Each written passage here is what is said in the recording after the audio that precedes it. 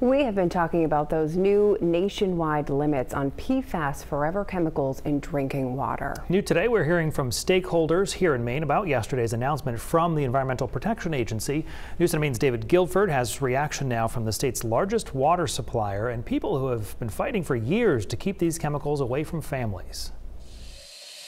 The U.S. Environmental Protection Agency, for the first time, set limits on PFAS, or forever chemicals, in drinking water. For two of those chemicals, the agency set an enforceable maximum level at four parts per trillion, well below Maine's existing standard. This is a huge win for public health. Adam Nordell is one reason Maine has a standard. PFAS contamination shut down his Unity farm and threatened his family's health.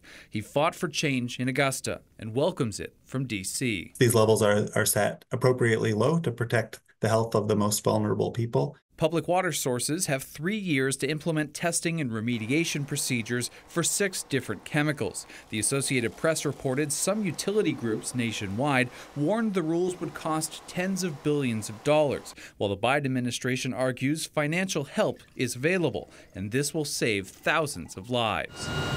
This new finalized regulation by the EPA came as no surprise to us. Portland Water District serves the taps of 200,000 Mainers from Sebago Lake pristine and, according to the district's existing testing, free of measurable amounts of PFAS.